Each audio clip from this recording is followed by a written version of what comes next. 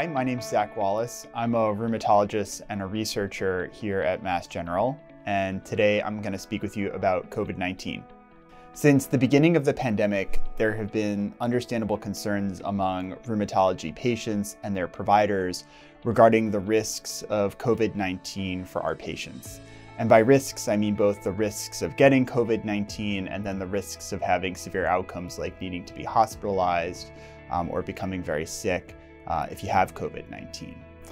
Thankfully, you know, we're now two years into this pandemic and we've learned a tremendous amount about COVID-19 in the general population, but also specifically in patients like yourselves who are living with rheumatic conditions. For the purposes of our talk today, or for this short session, I'm going to focus on rheumatic conditions that are treated with immunosuppression or immunomodulators. So I'm going to focus on diseases like rheumatoid arthritis, lupus, vasculitis, conditions of that nature. For those of you who are living with osteoarthritis, fibromyalgia, gout, and other medicines, I suggest you speak with your provider or consult other sources for more information about COVID-19, because this information is going to be really specific to that other group of patients. So I think one of the most important and common questions that I get asked by patients with rheumatic disease regarding COVID-19 is what their risk is, and is it different from someone without a rheumatic disease?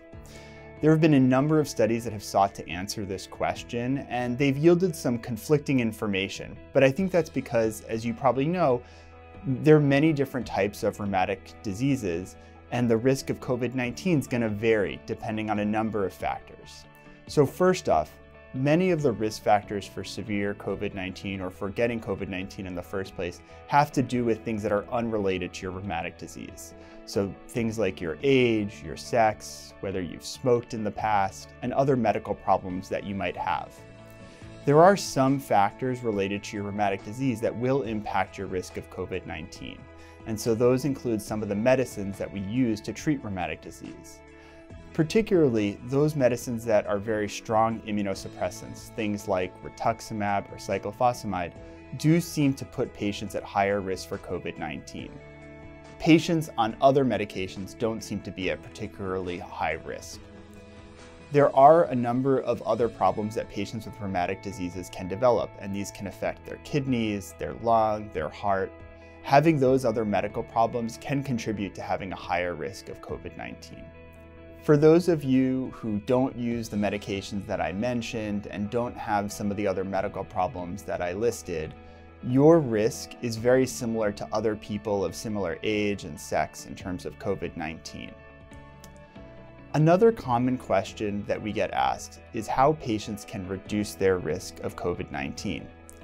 First and foremost, we are so lucky to, to have very safe and effective vaccines available. And so I recommend that everyone speak with their provider about getting a COVID-19 vaccine.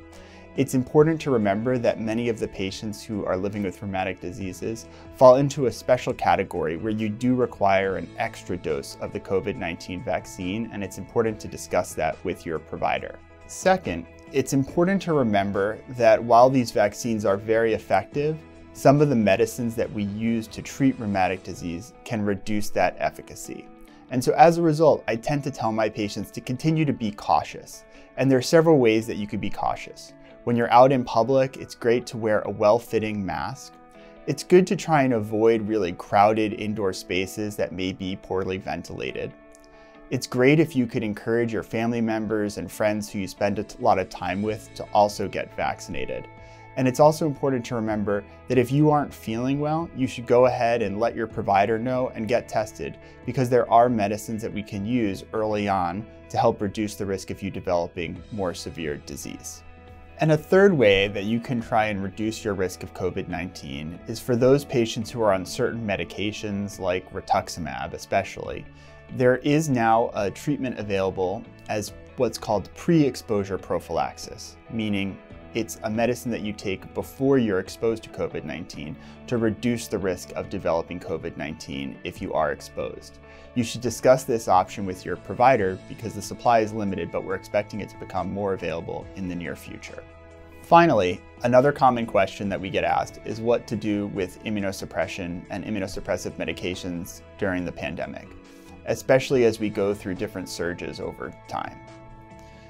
There's no one size fits all answer to this question. It's really an important discussion that you need to have with your provider. But in general, as you're aware, these medicines are really important for controlling your disease and protecting damage from your joints or other organs. There are, however, some situations in which we may adjust doses or frequency of medication, and you should discuss that with your provider before making any changes to your treatment. So thanks very much for letting me speak with you today about COVID-19. You should definitely discuss these topics with your provider at your next visit, and I hope you all stay safe.